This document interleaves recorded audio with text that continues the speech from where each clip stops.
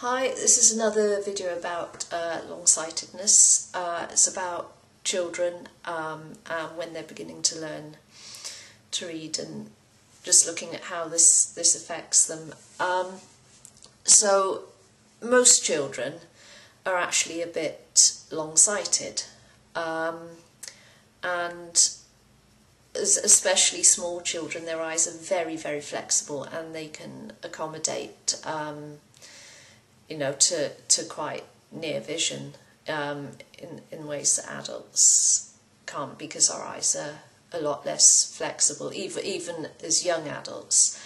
Um, so in, in the UK, children start learning to read about age four um, in, or, you know, earliest age four to five. Uh, Scandinavia is a little bit later, um, I think it's about age seven, they, they start their formal schooling.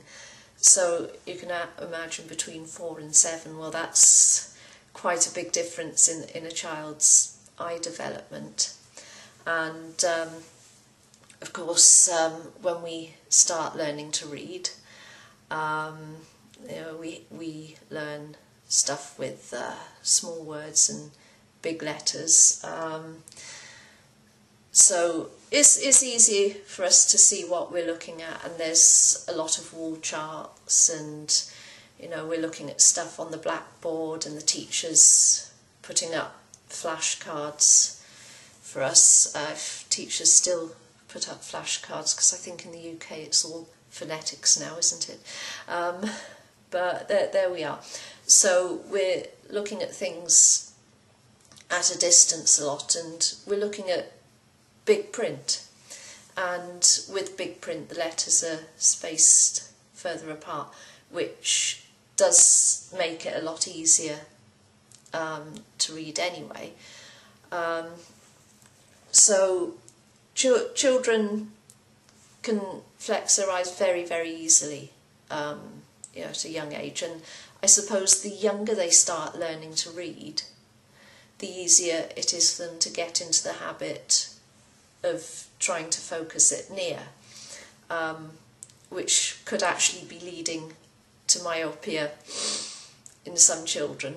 But then in others, um, if they start later and they have you know higher than normal degrees of hyperopia, um, then you can get you know because by what age seven um, their eyes are a bit less flexible and they're well on their way to developing, then you can get, I suppose, children who don't want to, to read and find it difficult because they, you know, find it a bit more difficult to actually um, do close work. So it's kind of the lesser of the two evils um, in in that um, situation. Um, so a child's eyes really stop um, growing and developing by about age nine. Um, okay, um, so you get children, say they're very quick, they're, they're very quick to learn reading. Now what happens um, you know, as, as you progress in learning reading, you go to smaller and smaller print.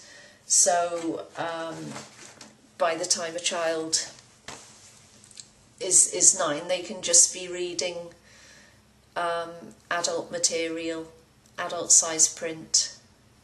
Um, so you can get um,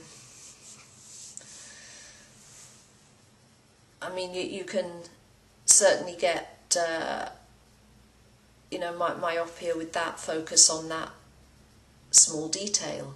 Um, because of course, by, by the time they get to nine, their eyes have stopped develop, developing as much, so they're fixed. I mean, I won't say they're fixed, they've caught myopia, um, but certainly some of you might know that I follow Otis Brown's um, videos, and I totally agree with what he says about um, you know adding adding minuses um, to myopia just creates more myopia um, and I've kind of gone into this in, in other videos as well.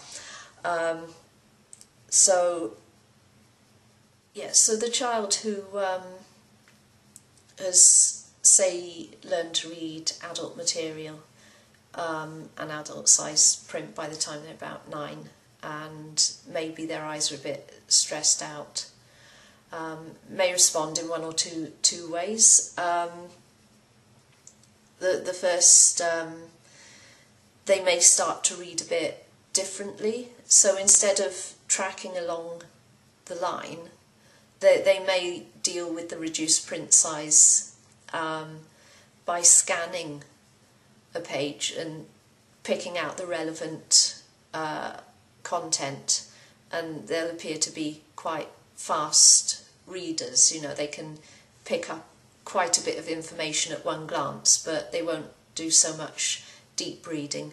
Um, and the other way, obviously, is to become uh, myopic. So, what can be done um, to ensure that all children, um, you know, can achieve their best at school and um, you know, all their experiences of reading are comfortable and productive. Um, certainly regular eye screenings um, to check if there is any hyperopia there and obviously deal with it um, by plus lenses. Um, and the other thing that can be done is um, to, to change the, the print and the, the whole layout of, of books. Um, certainly in my own time. Um, and I've got... Okay. Here is um, mm, an old fashioned book and I don't know how well you can see the print um, on this, but this was obviously the paper is slightly uh, yellowed with age, but it would never have been quite completely white, so it's slightly lower contrast.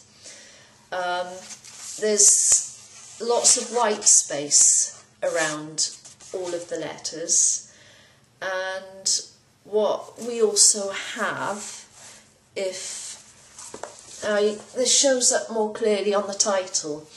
You have something called um, serifs. That's these bits on the tops and bottoms of letters here. Um, and they they help the eye track because they give they give a weight to the top and bottom. And um, I was watching one of the TED talks, and I can't remember the name of the guy, but he's developed um, a typeface to help dyslexics, which um, it weights the um, the letters and um, it makes each letter look a bit different from the next. And that is really nice to look at. And the other thing he's done is to space um, the, the print um, so that letters aren't quite so close together. And I mean, you might be able to see um, I mean, old printing techniques just didn't allow you to jam the letters so close as you can now.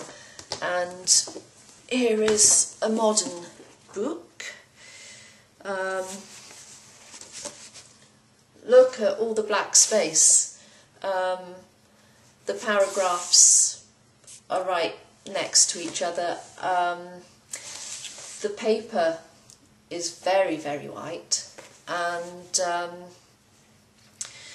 with, obviously with computers, you can kern the font so you can, um, you know, pixelate how close one letter is going to be um, next to the other. Um, so, I mean, never mind for dyslexics, it's not altogether comfortable uh, for every other person either um, to read.